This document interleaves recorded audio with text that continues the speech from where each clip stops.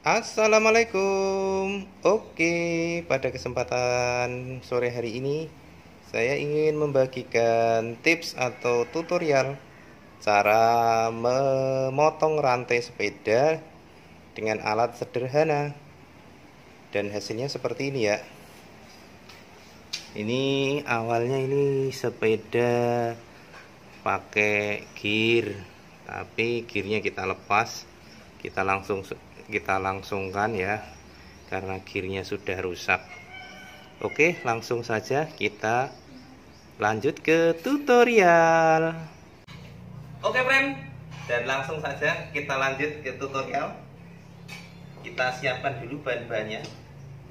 Yang pertama paku. Nah seperti ini paku yang ukuran kecil. Kemudian ada tang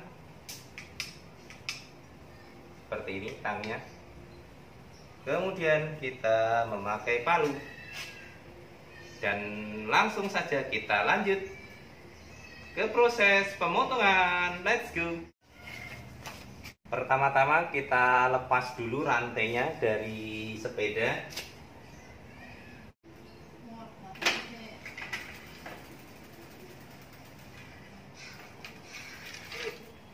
Nah seperti ini ini sudah lepas. Oke terus langsung saja kita potong ya biar tahu caranya.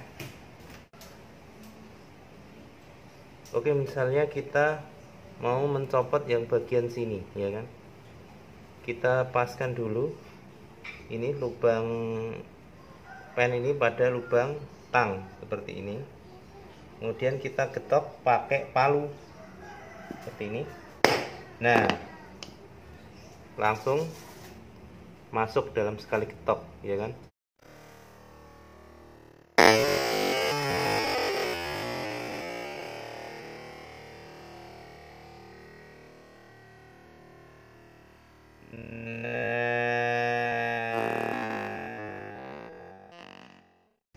Nih udah masuk.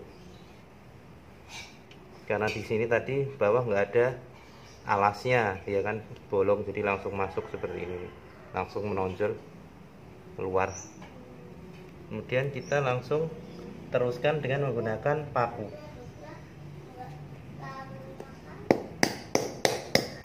Nah sudah. Sudah gini tinggal diambil saja begini. Kemudian kita potong lagi sesuai kebutuhan rantai ya. Mau dipotong satu atau dua atau tiga Nah kalau udah dipotong dengan cara yang sama tadi Kita cara masangnya gampang. Kalau sudah seperti ini ya kan? Kita masukkan di sini ya kan? Kita pasangkan seperti ini. Kemudian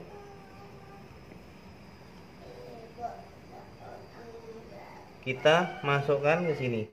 Pastikan center Kemudian kita tekan Pukul seperti ini. Nah karena di sini masih belum masuk sempurna ya kan? Kita paskan di lubang di sini. Jangan yang enggak jangan yang enggak berlubang karena nanti terhalang. Terus kita pukul pelan-pelan.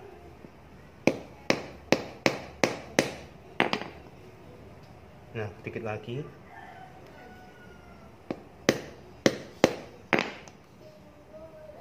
Hmm, kebanyakan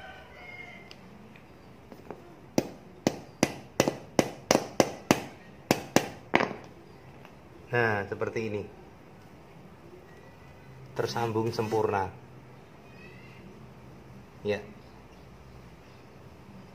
Oke. Mungkin sekian tips atau tutorial dari saya memotong dan menyambung rantai sepeda. Terima kasih atas perhatiannya. Jangan lupa like, subscribe, dan komen. Wassalamualaikum warahmatullahi wabarakatuh.